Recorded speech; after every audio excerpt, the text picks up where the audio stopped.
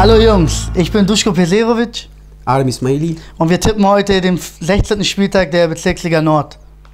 Also kommen wir zum ersten Spiel, Herr Ismaili. Ja, Pesirovic. Ähm, Glas City gegen Turak Seide. Ja, ich schätze Turak Seide sehr stark ein. Glashütte ist ein Aufsteiger.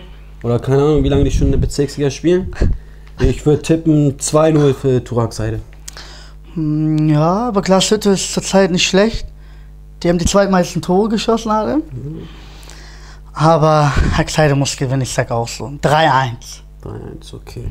Okay, zweites Spiel. Berne gegen Post. Ja, da ist ja mein alter Trainer, Ex-Trainer, der Billige, wenn ich ihm nochmal sagen darf. Ja, ähm, ich hoffe natürlich, die verlieren Berne. Mag ich nicht, unsympathische Mannschaft, geht immer auf die Beine und so, spielen null Fußball. Also hoffe ich mal für eine schlechten Mannschaft wie Post SV, dass sie mal 2-1 gegen Berne gewinnen. Ja, das sehe ich genauso. Ich mag Berne 0. Die haben nur getreten. ja, aber Post hat da keine Chance, sage ich. Tut mir leid. Berne gewinnt, sage ich, für schon Die haben 4-0. zu viel Gegentore. Post. Ja, aber Berne gewinnt. 4-0, sage ich. Obwohl die verlieren sollten, aber egal. Okay, drittes Spiel. Bramfeld 2 gegen Barmik Ulnos 2. Boah, knappes Spiel. Ich sehe beide auf dem gleichen Level. Bramfeld hat ein bisschen nachgelassen im Gegensatz zum letzten Jahr. Ich würde mal einen Unentschieden tippen. 1-1, 2-2, irgendwie so. Ja, das Spiel würde ich auch so offen. Und ich, obwohl jetzt ein neuer Trainer gerade da ist bei Bramfeld, aber. Aber ich sag, Bramfeld gewinnt. Mit Mo Kale, der spielt gerade in der zweiten wieder. Ja, er ist ein Knipser. Sobald Ich sag so, ist. ja, 2-0 für Bramfeld. Okay, dann. Oh, jetzt kann noch ein, Derby. So. VfL 93 gegen Paloma 2. Ja, VfL Down ist ja im Moment ein bisschen Unruhe. Bin den ganzen Spielern da. Das kann ich jetzt nicht genau beurteilen, wie das da jetzt so weiterläuft. Deswegen weiß ich nicht. Paloma spielt auswärts. Äh, 2-1 für VfL 93. Ja, sagst du so knapp? Ja, Oh, ich sag, Paloma ist so schlecht für diese Liga, die sollen endlich raus. VfL gewinnt, sag so 4-0, diese Frust aus der Seele schießen. Pa- Paloma ist gar nicht Doch, ja, doch, doch, doch, doch, doch. Ihr, wenn ihr da 3-0 gewonnen habt, dann. Da habe ich auch ein Ding gemacht, ne? du weißt. Okay, nächstes Spiel. Aha, stopp, das will ich. Warte, warte, nein, nein, das ist noch nicht. Doch, doch. Nein. Ähm, Condor 2 gegen Germania Schnelsen 2. Das kommt nachher als Schluss. Ach so. Kondo gegen Germania. Tippe ich auch unentschieden. Ja? Ja, 1-1. Mhm. Beide sehe ich gleich. Ja, aber Condor ist, glaube ich, dick besser. So zu Hause auch und so. Ich sag 2-1 für Condor. Ja. Okay, jetzt kommt hier. Urania gegen Werlingsbüttel. Ah, beide Chancentodmannschaften. Wellingsbüttel haben wir leider nur 3-3 gespielt. Aber ähm, ja, komisch, so viel Unentschieden tippe ich, ne? Ich tippe trotzdem da auch Unentschieden. Wellingsbüttel gegen Orania. Nein, 10.45 Uhr Gramm. 1-1. Wellingsbüttel hat keinen Bock bestimmt. Ja, Urania schießt viele Tore, aber kassieren auch viele. Okay, uns haben sie irgendwie vier Tore geschossen. Weiß kein Mensch, ja, weiß kein. Mensch, ich schwöre.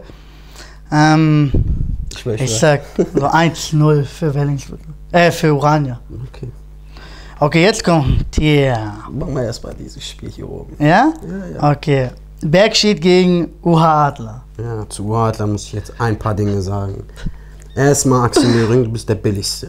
Nein, das stimmt. Aber nein, Axel- Spaß. Ein Ball hast du Weltklasse gehalten. Uradler kann sich bei dir und bei Duschko bedanken bis jetzt für die gelaufene Saison. Also, ich weiß nicht, die haben einen überragenden Zehner mit Duschko, der meistens über links kommt. Nein, Ja, er macht auch viele Elfmeter. Aber ich Wieso? tippe 3-0 für, äh, für Uradler. Ja? Leider ja, aber Bergstedt ist so eine Billigmannschaft. Ja, Bergschied ist billiger vielleicht, aber die spielen zu Hause auf so einem kleinen Grandplatz. Habt ihr das schon gespielt? Nee, nee. Bei euch? Mhm. Bei euch aber. Ja, Ach bei so, uns, aber nicht die haben so einen kleinen Grandplatz. Ja, aber Uradler kann. Und die haben eine gute Abwehr, so zwei lang. Ich sag, wir gewinnen da so 2-0. Ja, ja, Axel Möhring. du, Axel ist da. Nein, nicht nur Axel, unsere ganze Ah, Mannschaft ihr ist gut. noch einen, der Jungs, wir sind schon seit 13 Wochen Tabellenführer. Ja, glücklich Ja, Tabellenführer, ja, ja, glücklich. glücklich. Glücklich. 14 Punkte. Herr Jetzt Römer lesen auf. wir mal über die überragende Mannschaft hier. Okay, letztes Spiel. Heibitzle gegen Eintracht Lockstedt. Ah, Derby, ne, mäßig? Ja, So? ja, ist schon, Umkreis schon in der Nähe. Oh, erzähl mal von euch. Oh. Wieder unentschieden? Nee, nee, das wird ein klarer Sieg für uns, für mich und meine Jungs. Wir sind alle heiß. Wir haben den zweiten Platz noch vor uns, sechs Punkte nur zurück. Also Ja? hoffentlich holen wir die noch, ja. Oh, ich tippe mal schlecht. 4-0, 3 Tore Ismaili. Na, ehrlich? Ja, Wie drei Tore? Du schwitzt doch gar nicht. doch. Drei. Eine Frage. HBC-Trainer, hallo. Warum spielt Tama nicht?